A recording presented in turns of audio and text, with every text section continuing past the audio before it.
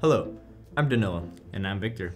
In today's money hack, we're looking at ways to save money by backing up computer data like documents and photos to the cloud. There's money to be saved with the cloud.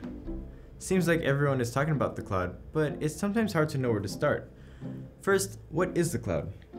Well, the cloud is a network of servers that stores your data remotely. Okay, got it. But it seems people are often uncertain about putting their data on the cloud. Why is that? That's partly because cloud storage has undergone rapid changes over the past few years. And will likely continue to change? Of course. It's important to pay attention to updates to cloud service policies. So, how can the cloud save people money? Well, for starters, it could help you avoid losing valuable data. All hard drives eventually fail. Many people have ended up taking their failed drives to a data recovery service to retrieve data that just wasn't backed up. Never fun. So, how much does that kind of data recovery cost? It can range between 400 to $2,000. In most cases, it's around $1,500. But can't you just back up to an external drive? Yes, but beware. First, a lot of people fail to back up regularly. That means when their external drive fails, they lose most of their recent data. Also, too many people save to an external drive and then delete that data from their personal computer. That means it's only on one drive, which is a big no-no.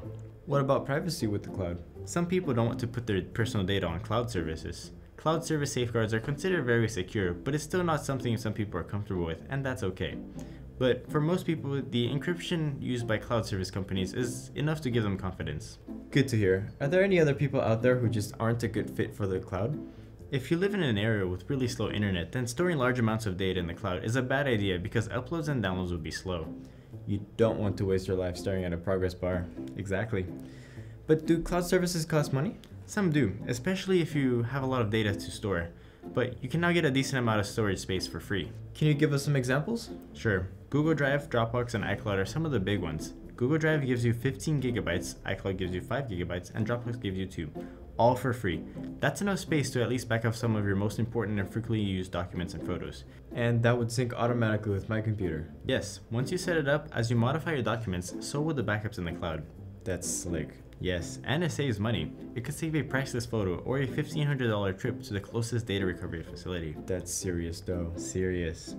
Thanks for sharing, Victor, and thank you all for joining us on today's Money Hack.